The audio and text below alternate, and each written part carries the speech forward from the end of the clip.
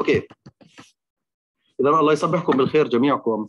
فإحنا المحاضرة اللي سبقت بدينا في موضوع ال preparation of the sample وزي ما بتعرفوا إحنا وصلنا موضوع ال sectioning واتفقنا إنه كل الخطوات اللي إحنا عملناها من fixation من dehydration clearing infiltration and embedding هدفهن كان two things ال thing الشيء الأولاني إنه أنا أحافظ قدر الإمكان structurally على structural features للعينة كما كانت في ال living tissues والنقطة الثانية to harden to solidify the sample فالفكرة هلأ إنه صار في عندي عينة محافظ عليها و solid وآن الأوان إن نعملها sectioning يعني المقصود ب sectioning بعض مصادر بسميها cutting إن نقطعها إلى slices okay؟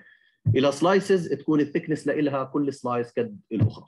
طبعا ما كان بإمكاننا نعمل هذول slices والقطع لما كانت العينة لزجة ومرنة وإلى آخره. ومن هون أجت قصة ال dehydration وال infiltration وال embedding هلأ الجهاز اللي بيعمل عملية ال sectioning اسمه microtome وهي إحنا شايفين صورته تمام؟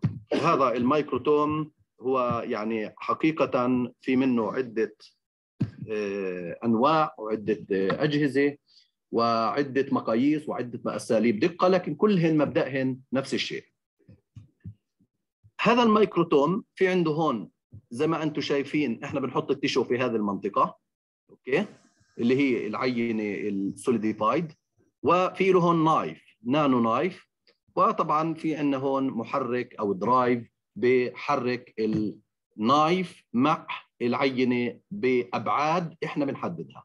مثلا واحد مايكرومتر كل مرة بتتحرك أو 2 مايكرو أو 5 مايكرو أو أقل من 1 مايكرو. ال depends على دقة الجهاز وال depends على ال thickness اللي إحنا بدنا إياه. طبعا مش كل ال microtomes اللي هن نفس الدقة. بس في نقطة هون شباب مهم جدا ان نعرفها اللي هي خطوة تسبق ال sectioning بنسميها trimming إيش المقصود ب trimming؟ لأنه هون إحنا قايلين لكم the the sample أو the tissue is trimmed هلأ ال trimming المقصود إني أنا في مناطق معينة نتوءات زائدة بالبرافين أو just paraffin هاي ما بتلزمني. فأنا just بقطعها هاي الأجزاء من أجل إني أخلي بس جزئية العينة اللي فيها يعني برافين مع عينه وليس pure paraffin هاي نتذكرها اسمها trimming اذا أنا بعد ال embedding أول خطوة بعملها trimming إني أنا بزيل أي زوائد أي أمور لا تحتوي إلا على البرافين أو مثلا في حالة الايبوكسيريزين الايبوكسيريزين وبترك الأجزاء ال solid التي تحتوي على ال embedding material وال paraffin وال paraffin أو يعني plus العينة. هلأ فبجهاز ال microtome مرة جديدة إنه قديش ال thickness لل slices اللي أنا بدي اقطعهن ممكن يكون أكثر من 1 مايكرو أو 2 مايكرو أو أو أقل. يوم يكون أقل بالذات للعينات اللي إحنا بدنا ندرسهن using ال electron microscope هذول العينات بكونن أقل من 1 مايكرو أو تقاس بمثلا 100 أو 200 نانومتر لأنه زي ما راح نشوف في ال electron microscopes إحنا بدنا عينات تكون very thin وال beam of electrons can transmit through them تمام. هلأ في عندنا هون تطبيق مهم ضروري جدا نعرفه اسمه cryostat ال cryostat هو جهاز microtome تماما ولكنه بيقطع بيعمل sectioning at sub zero temperature يعني ما بيعمل cutting at room temperature at sub zero temperature هذا بنستخدمه لل specimens اللي إحنا حضرناهن using ال liquid nitrogen فبتذكروا في إحنا عندنا procedures معينة. we use ال liquid nitrogen لعملية ال preservation تاعتها هذول العينات ما لا يجوز إن نعملهن sectioning at room temperature لأنه برجعن fragile فأنا ال liquid nitrogen ساهم لي بعدة شغلات. اولا حافظ لي على structure وال function هذا مهم رقم اثنين عمل لي solidification للعينة دون الحاجة ل infiltration ولا embedding material فأنا هذا ال sample ال solidified أنا بقطعها using microtome طبعا.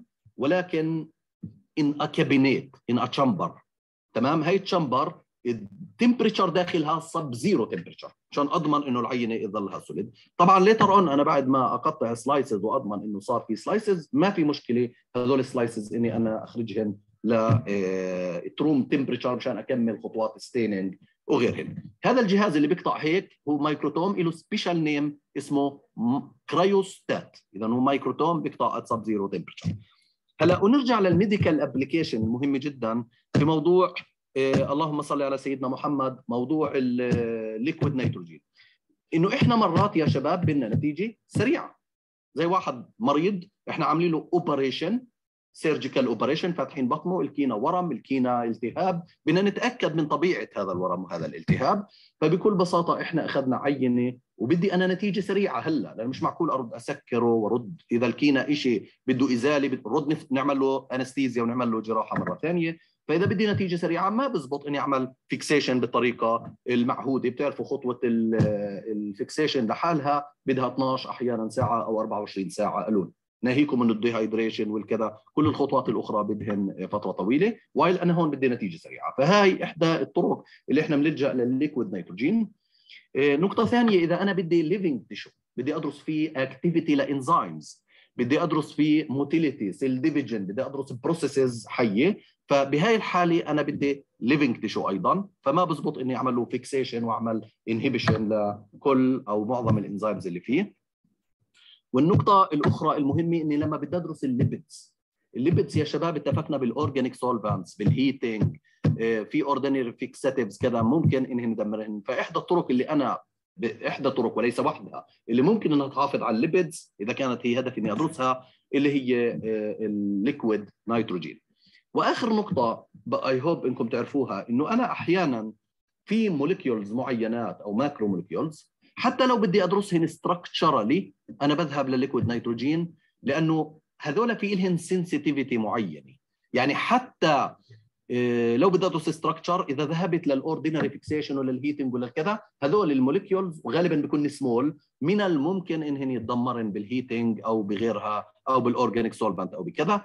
فبهي الحاله حتى لل structural أنا مضطر أذهب للل liquid nitrogen بس هذول أمثلتهم قليلة. طبعا السؤال المعهود إنه لماذا إحنا لا نذهب إلى ال freezing في كل الأحوال والظروف؟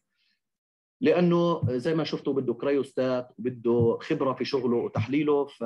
وبعدين structurally ما بيعطيك النتائج اللي سهل تحليلها زي ال ordinary methods فهو ما لم نكن نحن مبرر وبحاجة لاستخدام هذه الطريقة يعني في لها indications واضحة نحن لا نلجأ لها. هلا staining وهي خطوة كثير مهمة ورائعة إن نتناولها. إنه إيش المقصود ب staining إني أنا بدي أضع على ال sample على ال slides اللي عندي بدي أضع عليهم مواد كيميائية معينة. أضمن إنه هاي المواد الكيميائية أجزاء ال tissue المختلفة بتأخذها بصورة selectively ما بدي كل أجزاء ال tissue بس يأخذها يأخذها بطريقة equal ما استفدت. لا أنا بدي أجزاء تأخذها دون أجزاء أو أجزاء أكثر من أجزاء. على أساس الاجزاء اللي أخذتها يصير لها لون يصير لها fluorescent يصير لها إذا مثلا الكترون آه، مثلا أنا بحكي عن metals electron density تمام؟ فهيك أنا بصير أعرف إنه المنطقة اللي ظهرت سوداء هاي مثلا عبارة عن reticular fibers المنطقة اللي ظهرت خضراء هاي عبارة عن مثلا ال microfilaments طبعا كل هاي الألوان افتراضية حسب طبيعة ال stain اللي أنا استخدمتها. هلأ سبب استخدامنا لل stain هو سببين. الأول إنه ال tissue عندنا normally they are colorless يعني ال tissues عندنا normally abnormally ممكن يصير في أشياء fluorescent أو colored أو كذا upon toxic materials أو غيرها. ولكن normally معظم الأحيان ال living tissues وكذا are colorless إذا أنا ال naked eyes عندي beyond إني to differentiate between small وال negligible differences between ال parts of the tissue هلأ إن في بينهن على فكرة optical densities في بس إني أنا ما بقدر أميز ب my naked eyes هاي ال differences بسيطة جدا.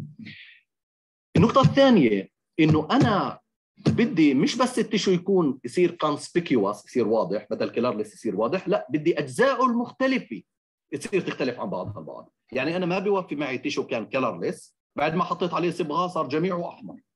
صح أنا هلأ صرت شايفه ماشي بس مش شايف اجزائه المختلفة. فأنا بدي ال stain تخلي ال tissue colored أو أو can be distinguished ك tissue عن ال background تمام؟ ولكنها أيضا بتخلي الأجزاء المختلفة منه أيضا تختلف عن بعضها. بعض من أجل إني أميز ليس فقط ال tissue عن ال background وإنما الأجزاء المختلفة عن بعضها البعض. ولهذا السبب يا شباب ال chemicals اللي ممكن ترتبط عندنا في ال tissues كثيرة واللي ممكن تعمل ألوان و radio fluorescent و electron density وكذا. بس إحنا مختارين chemicals بعينها. مش كل ال chemicals اللي في الدنيا مختارينها. chemicals بعينها بناء على المعايير اللي حكيناها. زائد أكيد بناء على معايير السلامة وتوفرها ورخصها وسهولة استخدامها. يعني فمعايير كثيره لازم تتوفر. بس النقطة اللي إحنا بدي إياكم تنتبهوا لها هون واللي بجوز الكتاب المقرر حتى مش ذاكرها ومش مطلوبة منكم بس يعني حابب إنكم تعرفوها. ما بين ال sectioning وما بين ال staining في هناك خطوات مش مذكورة. بس لازم نذكرها. هي خطوات إزالة ال embedding material وإرجاع ال water اللي هي ال rehydration ولا هلا هلا ال stains والكذا اللي بدنا نحكي عنهن معظمهن water soluble. ما راح يدخلن مثلا في البارافين. فهو في عندي خطوات هلا دعم العكسية بال slice اللي عندي. ال slice اللي عندي أنا دخلت عليها مثلا بارافين من أجل to harden it وإني اعملها cutting هلا عملت لها cutting جاهزة. الآن بدي أدخل عليها stains ما راح تدخل.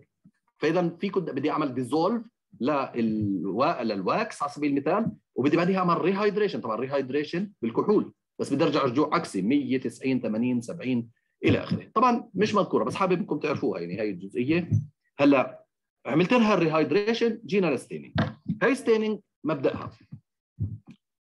هلأ أشهر أنواع ال stains اللي إحنا بنستخدمهم وبنعرفهم اسمهم dyes أو الصبغات لأنهم بيعطينا ألوان. هذول ال dyes بيشتغلن على مبدأ ال acid وال base. acidic basic. يعني شو معنى acidic basic معناها negatively charged positively charged يعني يعملن ionic linkage رابطات إيونية. مع مين؟ مع أجزاء معينة في ال tissues. مثلا ال stain نفسها كانت عبارة عن positively charged فإذا ترتبط في ال negatively charged في ال tissue.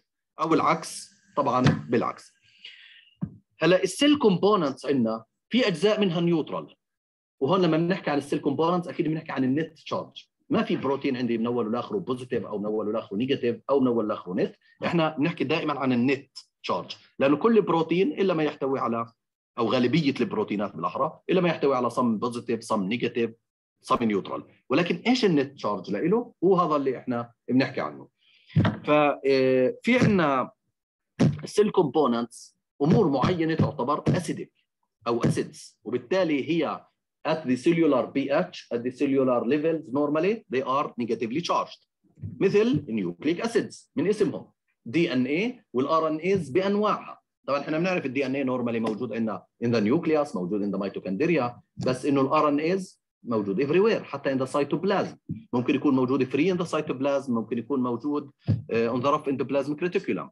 تمام؟ فإذا أنا ال negatively charged هذول أو ال anionic بدهن يرتبطن في إيش؟ في base تمام؟ يعني كنت stain أو dye اسمها base لأنها هي نفسها positively charged وبالتالي بدهن يكونن basophilic ما دام هن حابين ال base فبنقول عنهن basophilic اذا هو acid هو نفسه acid بس حب ال base وطبيعي. ال acid الشيء ال acidic بده يكون basophilic لأنه هو negatively فبده يبحث عن ال positively فإذا أنا بصبغ في base بدي أتوقع إنه يرتبطن بال DNA وال RNA بحثا عنه. هلأ بالمقابل ال cationic components أنا في عندي بروتينات معينة مثل الكولاجين في عندي الميتوكوندريا في عندي ال secretory proteins أصلا بتحتوي على بروتينات معينة ال net charge لها positive هذول كلياتهن بيكونن cationic بمعنى هن نفسهن bases ولكن هن يبحثن على الارتباط ب acids اذا هن acidophilic يعني أي dye فيها acidic راح يبحثن عن الارتباط فيها. هلا في عندنا كثير dyes basic وكثير dyes عبارة عن acids آه، مش معقول نحفظ كلياتهم بس هون إحنا متطرقين لأمثلة كثير مهمة وكثير common يا ريت لو نعرفهن. ولحسن الحظ ال dyes اللي هن basophilic أو bases sorry base bases وليس basophilic متاسف ال dye نفسها اللي base هي مثلا ال methylene blue وال alcian blue وال toluidine blue للمصادفه كلهم فيهم كلمة blue فبإمكاننا نربط كلمة blue مع basic مع كذا لسهولة يعني حفظها. هلا لاحظوا إنه مش كل base مش كل stain base سترتبط بكل ال anions عندنا بال tissues بطريقة equal وبطريقة متساويه ومن هون بتيجي لماذا إحنا عندنا عدة dyes من bases مشان ندرس ال tissue component لأنه ما في base واحدة عندها قدرة ترتبط بكل أجزاء ال tissue بطريقة equal هلا مثلا ال hematoxylin هي نوع من أنواع ال basic dye هي base تمام؟ وهذه expected إنها ترتبط بال nucleic acids ال DNA وال RNA طبعا ال DNA في ال nucleus ترتبط فيه وبتظهر ال nucleus ب dark blue بتظهر بهاي الحاله ال nucleus هلا ال RNA موجود جزء بسيط في ال nucleus بس الجزء الأهم موجود in ال cytoplasm فهي سترتبط في in the cytoplasm بس في السيتوبلازم ما بدنا ننسى إنه معظم ال components هناك secretory proteins و mitochondria وغيرها وبالتالي معظمهن راح يكون يعني يرتبطن بال acids فهلا راح نشوف لما نستخدم ال hematoxylin ك base مع ال eosin ك acid كيف إنه السيتوبلازم راح يكون معظمه من حظ ال eosin بحكم إنه ال net material اللي فيه هي bases وبالتالي تحب ال acid يعني acidophilic تمام؟ هلا ال tissue components آه، مرة جديدة اللي ممكن ترتبط بال بال bases اتفقنا nucleic acids وما بدنا ننسى ال glycosaminoglycans ال glycosaminoglycans اللي موجودة في كل آه، أجزاء ال extracellular matrix بكل أنواعه وبالذات في ال cartilage لما ناخذ cartilage راح نعرف إنه هناك بالذات ال glycosaminoglycans are abundant okay هلا ال acidic dyes كمان إحنا ضاربين هون عليهم أمثلة محددة وبكل تأكيد سترتبط بأجزاء الخلية اللي هن acidophilic اللي بحبين ال acids أكيد. مثل ال mitochondria وال secretory proteins وال collagen وضروري نعرف إنه ال secretory granules في الخلية هن بيحتويان على secretory proteins أصلا أحد أمثلتهن الكولاجين الكولاجين لماذا basic لأنه rich in positively charged amino acid مثل مثلا آه، اللايسين على سبيل المثال.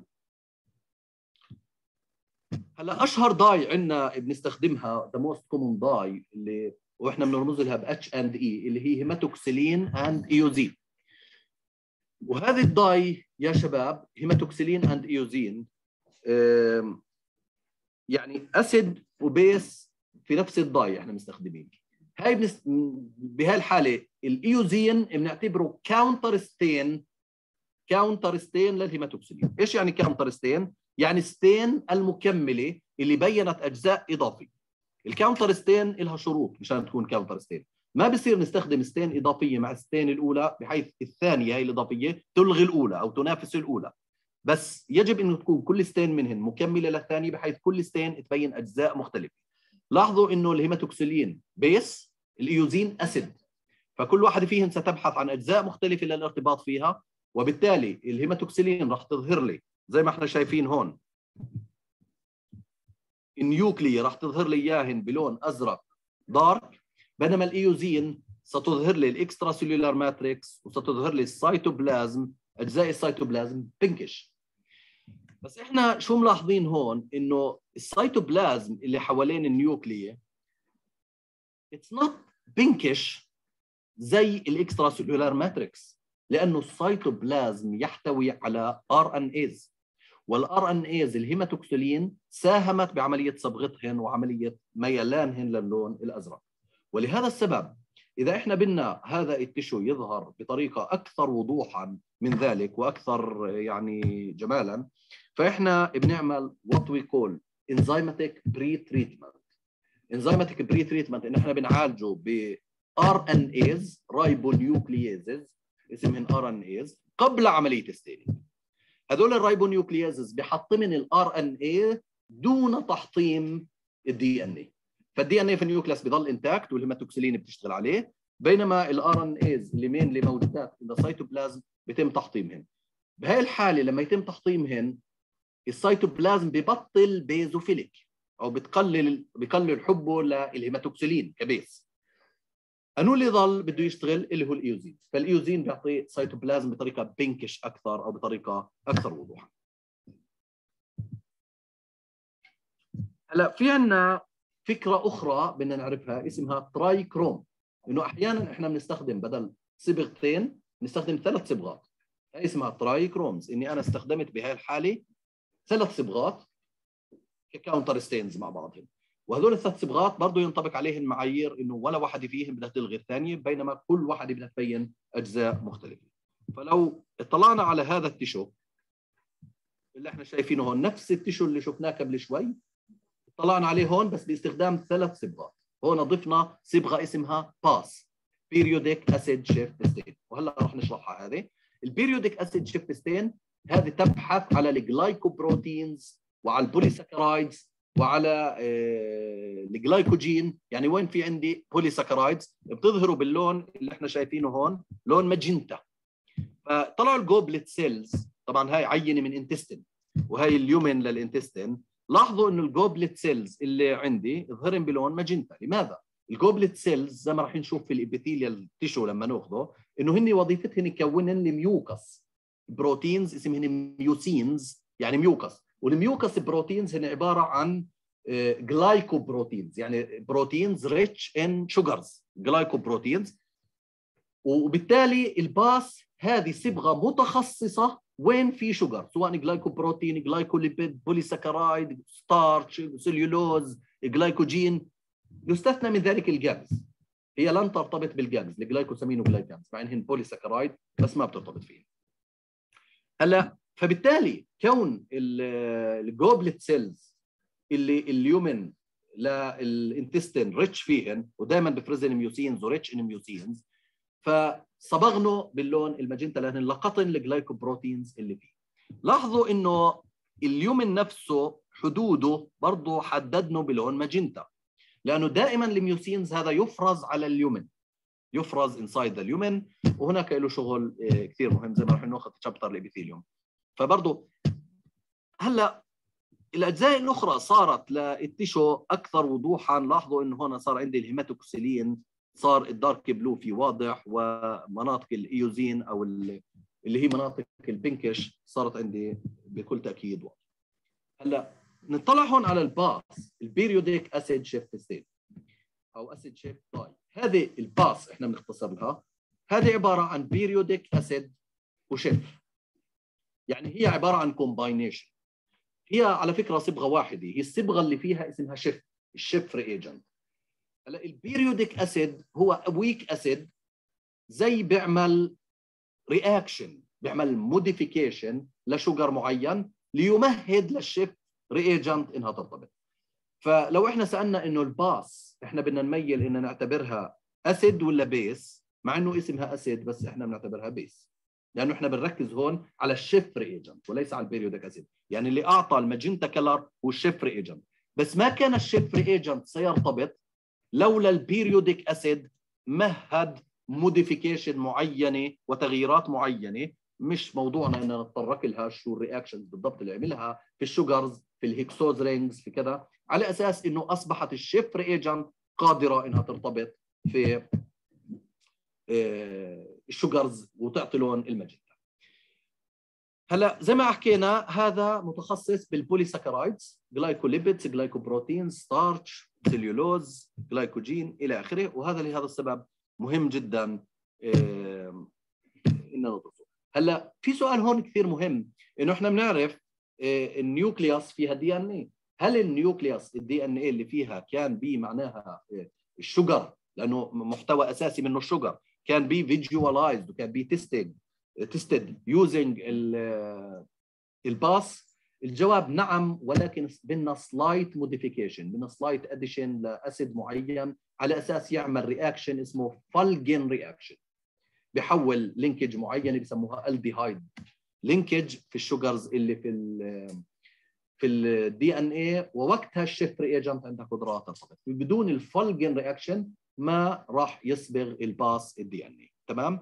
إذا إحنا بإمكاننا أحد استخداماته أن نصبغ فيه ال DNA ولكن بده modification اللي هي إضافة reagent إنه يعمل ال Feulgen reaction هلأ بنرجع لموضوع ال pre-treatment إنه شباب إحنا مرات حطينا في مثلا مريض معين إحنا شاكين إنه عنده glycogen storage disease مش شاكين إنه في تراكم للجلايكوجين اللي في آه، آه، ال liver بال hepatocyte عمال الجلايكوجين بتراكم بصورة أكثر من ال normal أكثر من ال expected وبالتالي عامل hepatomegaly وتضخم بال liver وإلى آخره. وممكن هذا يأثر على ال function of the liver أو يعمل cirrhosis أو يعمل أي مشاكل أخرى.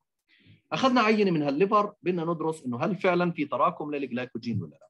بكل بساطة حضرناها بالطرق المعهودة ووضعنا ال PAS أعطتني اللون الماجنتا. إنه الخلايا كلهن ماجنتا. هلأ السؤال اللي بيطرح نفسه هون هل الماجنتا ظهرت؟ في عندي ثلاث خيارات هون بصراحة. يا إما الماجنتا ظهرت عندي لأنه في عندي جلايكوجين زايد وفعلا المرض اللي أنا بحكي عنه أكيد لأنه هينا أخذت عينة liver control من حدا ما عندوش glycogen storage disease ما ظهر هذا اللون الماجنتا. مقارنة في المريض اللي عندي اللي ظهر ماجنتا بطريقة مبالغ فيها وبطريقة abnormal هذا خيار. أو خيار ثاني إنه الماجنتا اللي ظهر عندك لا يعكس الجلايكوجين وإنما يعكس glycoprotein آخر متراكم وهو الذي سبب ظهور الماجنتا والخيار الثالث إنه في عندك error في شغلك.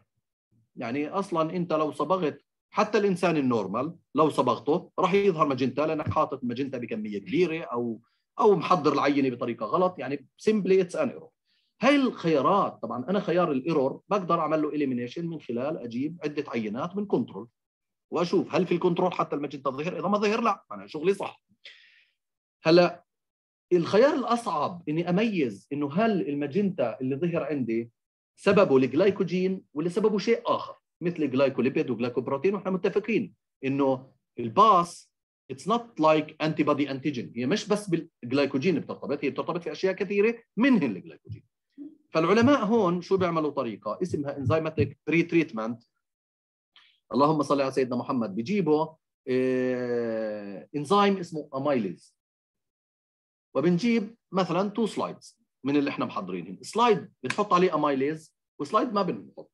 وبنتركهم فترة معينة. ال amylase إيش راح يعمل؟ راح يحطم الجلايكوجين. فاللي وضعنا عليه amylase بال pretreatment بعديها بنحط عليه stain بنحط عليه PAS وبنشوف هل ظهر لون ماجنتا؟ إذا still بيظهر. معناه لون الماجنتا عماله بيظهر؟ not related لل glycogen لأن الجلايكوجين ما انت حطمته بال amylase بينما إذا بطل يظهر بينما في ال slide اللي ما وضعت عليه amylase ظل يظهر معناها الشغلة واضحة. إنه أنا بحكي عن الجلايكوجين لأني حطيت إنزيم يحطم الجلايكوجين ولا يحطم ال glycolipid أو ال glycoprotein. تمام. هذه آه اللي هي ال pretreatment هلا مر معنا مثال قبل شوية بدنا نرد نركز عليه اللي هي إني أنا أعمل pretreatment ب ribonuclease ribonuclease اللي هي نوع من أنواع ال RNases. ال RNases هدول إني أحطم ال RNA اللي في السيتوبلازم وهذا سيقلل ال basophility راح يعمل السيتوبلازم less basophilic أقل basophilic وبعديها أصبغ. طبعا بكل تأكيد أنا راح احطم ال RNAs وبتعرفوا ال ribosome ال RNA هن ال most common RNA وهن اللي راح ياثرن على الصبغة. فأنا هيك حرمت ال hematoxylin إنها ترتبط ب components معينة بالسيتوبلازم وتعمل أي تأثير أو أي يعني أي عدم وضوح على آه، ال eosin وال pinkish color للسيتوبلازم طبعا هون شباب الأمثلة لا تقتصر على هذه الأمثلة. إحنا ممكن نستخدم كثير enzymes وكثير reactions حسب طبيعة ال tissue اللي إحنا بندرسه وحسب طبيعة التجربة آه، اللي معنيين فيها إذا أنا شباب بدي أدرس lipid-rich structure يعني بدي أدرس فوسفوليبيد بدي أدرس كوليسترول بدي أدرس triglyceride structure أو triglyceride droplets أو غيرها. هنا ما بزبط معي اني استخدم ال acid base dyes لأنه ال acid base dyes ما بذوبن في ال lipids ولا راح يفوتن في ال lipids لأن هنا اتفقنا acid و base بيعتمد على ال negatively charged وال positively charged هلا آه بدي أستخدم dyes اسمها Sudan black dye. وفي طلاب كثير بيسألوا طب شو اللون اللي بتعطيه؟ يعني إذا اسمها black واسمها سودان شو اللون اللي بدها تعطيه؟ بتصور إنه واضح. Sudan black ما أعتقد إنه صعب نحذر شو اللون اللي ال Sudan black بتعطيه. تمام؟ تقريبا اللون اللي بتعطيه موجود باسمها بالاسم الأول والثاني. فهلأ هاي ال dye قضيتها إنه اللهم صل على سيدنا محمد lipophilic تستطيع أنها تذوب في الدهون تستطيع أنها تخترق الدهون بعكس ال acid base وهذه مهمة بس هي بدها شوية وقت إنها مشان تدخل. مش زي هدلاك بسرعة بذوب إنه يعني هاي بدها some time ولهذا السبب إذا هلا راح تشوفوا لقدام إنه بدنا نحكي عملية ال preparation لل sample منذ ال fixation إلى ال visualization مش كل ال samples بحتاج نفس الوقت. إحدى المعايير اللي هي إيش طبيعة ال staining methods اللي أنا استخدمته؟ بفرق هل عملت enzymatic pretreatment أو ما عملت؟ هل إيش طريقة ال fixation كلياته راح يفرق معي بال total time أو ال total minimal time اللي needed طبعا you should understand نقطة. وهي اللهم صل على سيدنا محمد إنه إذا أنا هدفي أدرس ال lipids. ما تيجي تحكي لي إني أنا عينه حضرتها بال oven ب 55 ل 60 سلسيوس. ولا تيجي تحكي لي عينه حطيت عليها organic solvent. إيش ضل في ال lipids؟ فأنت بدك تكون قبل بالخطوات اللي قبل مثلا مستخدم epoxy resin تمام؟ أو مستخدم liquid حتى بال fixation liquid nitrogen يعني بدنا ننتبه على هاي الخطوات لأنه أي oven أي organic solvent أي كذا أكيد راح يذوب ال lipids ويدمره بشكل كبير. والعنوان الآخر اللي بدنا نحكيه ال metal impregnation إنه أحيانا أنا ما بستخدم لا acid base ولا lipophilic dye بستخدم metals بستخدم يعني زي silver زي silver bromide زي ferrous زي يعني metals معينات. أشهرهن طبعا silver bromide وليس وحده. هذول قصتهن إنه metal معين تستطيع أجزاء معينة من التشو إنها ترسبه إنها تتفاعل معه إنه كذا بحيث إنه لما يترسب عليها يعطي لون محدد. يعني نفس مبدأ stains اللي إحنا بنحكي عنه. هذول في ال light microscopes امثلتهم قليلة. ممكن أحيانا ندرس some elastic fibers some reticular fibers بالذات بال ECM لأنه ال ECM أنا مرات بدي افرق مش بس وين ال ECM أنا بدي أفرق وين ال reticular fibers تحديدا وين ال elastic fibers. تمام؟ مش والله بس إنه ال ECM هيو pink ish كله وخلصنا. لأنه ال ECM ال dominant فيه كولاجين صح؟ ال most common protein في ال ECM أو في جسمنا ككل ال most common protein هو الكولاجين. فممكن ال eosin بس يعطيك إنه أيوه ال ECM هيو كلياته pinkish. لا أنا أحيانا بدي أعرف وين ال reticular fibers وقديش زخمهن وقديش كذا فممكن إنه إحنا نلجأ ل metals معينات عندهم قدرة إنهم يرتبطن بهذول ال reticular أو ال elastic fibers. وبالتالي اللهم صل على سيدنا محمد إنه آه، يعطين لون محدد غالبا ما بيكون اللون الأسود طبعا. هذول أمثلتهم قليلة في ال light microscopes لكن في ال electron microscopes هي الأساس. استخدام ال metals واستخدام ال gold والباليديوم وال uranium وغيرهن منذ منذ خطوة ال fixation إحنا اتفقنا هي الأساس لأنه أنا في ال electron microscope بدي أميز آه، بين أجزاء الخلية المختلفة depending على ال electron density صح؟ ال differences في ال electron density فما بدي ألوان أصلا أنا بدي يعني metal معين rich in electrons زي gold أو باليديوم يخلي أجزاء الخلي أجزاء ال tissue لما تأخذه تصير ال density في ال electrons مختلفات من أجل إني أميز بينهم طبعا هذا التمييز أنا ك software ككذا راح أترجمه لألوان بس مش إنه هو نفسه ملون. هو فقط ال electron density اللي كانت مختلفة.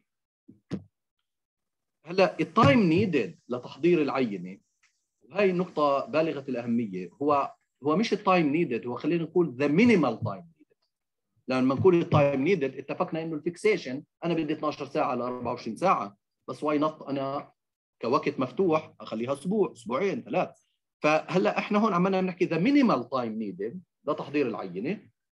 بالتأكيد ما في strict number of hours لأنه depends بس بشكل عام very general speaking من نص يوم ليومين ونص إذا بنحكي عن light microscope تمام؟ بالتأكيد لما بنحكي عن الكترون بتحكي عن كمية أكبر من الساعات والأيام وممكن توصل لأسبوع لأسبوعين أو أكثر لأنه عملية التحضير بدها دقة أكثر وبدها ال diffusion أكثر وفي التفاصيل أدق. آه، طبعا هذا كلام الاختلافات هاي ليست shocking الاختلافات هاي متوقعة لأنه بتختلف حسب العينة مش بس حجمها حجمها طبيعتها عمرها دقتها من وين أخذناها إلى آخره. بتختلف حسب staining methods اللي إحنا آه، درسناه. وبكل تأكيد آه، بدها تختلف حسب التفاصيل التقنية. يعني هل أنت استخدمت مثلا آه، بارافين؟ احتجت إنك تذوبه احتجت إنك تسخنه ثم احتجت إنك تبرده. ولا أنا استخدمت epoxy resin at room temperature direct وضعته على العينة ثم نشف خلال ثواني قليلة. فبالتأكيد وناهيكم عن بده يختلف حسب إيش ال purpose اللي أنا بدي إياه وإيش الميكروسكوب اللي أنا بدي أدرس العينة فيه. فهذه نقطة كثير مهمة. هلا اني anyway بس أنا خلصت وأنهيت عملية staining للعينة وصارت ال sample اللي عندي stained وجاهزة. هذه الحالة الخطوة الأخيرة هي mounting on glass slide بدي أحطها على slide طبعا ما بدي أحطها لحالها لأنه أكيد راح تفلت. بدي أحط عليها cover slip زي لزكه زي هاي ال cover slip لازم تكون transparent ولازم تكون آه، يعني آه، شو اسمه؟ شفافه وما تتفاعل مع العينه خلص بس تثبتها. هذا إذا بنحكي عن light microscope بس إذا بنحكي عن الكترون عينه لالكترون ما بحطها على glass slide بحطها على metal grid زي قطعة مشبكة من metal grid بنضعها عليها. طبعا بتكون مصنعة غالبا من gold قطعة ذهبية. وهي راح نفهم أكثر لما ناخذ ال electron microscope لماذا ما زبطش اني أحط معي glass slide لأنه بدي أحط على metal grid أقوى وأمكن.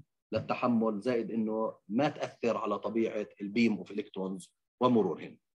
إحنا بنكون آه، لحد لهون أنهينا خطوات ال preparation لل sample وطبعا محاضرة قادمة إن شاء الله راح يكون موضوعنا مع موضوع ال microscopes بإذن الله تعالى. وضروري جدا تعرفوا يعني معلومة مهمة ما بدنا ننساها دائما إنه أنا بس حضرت ولا مرة أنا بحضر 1 slide أو 2 slides دائما أنا بحضر في كل خطواتي بحضر 10 slides 16 20 على أساس إنه مش كل slides عندي راح تظلها تطلع يعني واضحة أو تطلع كذا أو ممكن slide يضيع أو ينكسر أو أو. فبالتالي ما ب... ما إحنا بنعيد التجربة كلياتها إذا slide هذا كان مش واضح. إذا بحضر عدة أصناف. زائد إني أنا بعمل دائما label sorry إذا هي الخطوة ما حكيناهاش منذ البداية. بدنا ننتبه لما إحنا بنحكي عن slides بكل تأكيد بدي أحط ال label سواء اسم المريض رموز أرقام وات إني أنا فاهم هاي الرموز والأرقام تعود لمين بس لازم أحط label لأنه إذا أنا غلطت just في ال labeling حتى لو شغلي كل شغلي أصبح غلط بسبب إني أنا إيه، أعطيت النتيجة لمريض آخر غير المريض اللي أنا فحصته واشتغلت عليه وطبعا إيه، وقتها slides تخزن عادي at room temperature كذا لأنه خلص fixed أصبحت وجاهزة. يعني ما في داعي إنها تحفظ إيه، في ظروف معينة إلا إذا كان في للعينة نفسها مواصفات. خاصة أو أنا استخدمت مواد very toxic أو يعني حالات خاصة جدا بس هو بشكل عام slides تحفظ يعني ما لها شروط خاصة كيف تحفظ هذه ال slides طبعا أكيد بدها تحفظ في مكان آمن مكان غير قابل لاطلاع أي حدا يعني أمور السلامة العامة خلينا نقول. فإحنا بنتوقف معكم لحد لهون مع هذا ال week. من الشرح على أساس إنه نسمع إذا عندكم أي تساؤلات إن شاء الله.